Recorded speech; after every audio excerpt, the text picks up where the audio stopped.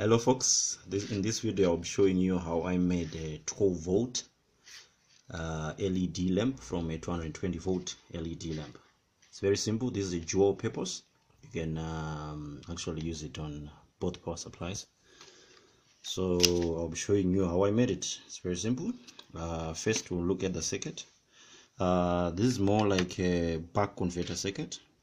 Uh, it utilizes this inductor in this uh, this circuit you can see where the inductor is. This is the inductor. These are 220 tens of uh, of 0.2 millimeter copper wire. And uh, we have a transistor here.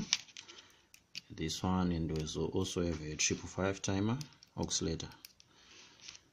And this is the LED array so what we do actually open this and then you weld two points any points along the array of LEDs just to connect about five LEDs these are five LEDs here that I connected. So I welded this point so that sorry so I soldered this point actually.